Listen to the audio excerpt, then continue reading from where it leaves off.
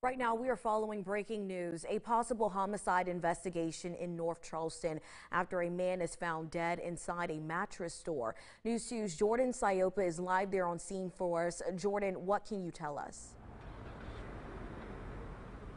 Amaris, I just got here to Mattress Deals right off of Rivers Avenue. I'm going to step off to the side and give you guys a look at what we're seeing right now. Still several police cars on scene, some caution tape up.